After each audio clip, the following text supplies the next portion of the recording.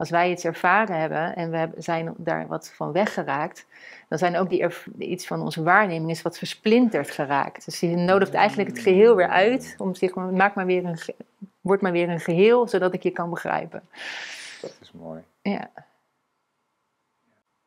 En dat is heel fijn. Als je het fijne wat je meemaakt begrijpt, maar ook niet het fijne wat je meemaakt uh, begrijpt. Van, oh, dat zit zo. Zo is dat ontstaan. Als je luistert naar jezelf, wie luistert er dan? Hmm, dat is een mooie vraag van jou. dat soort vragen kan jij stellen.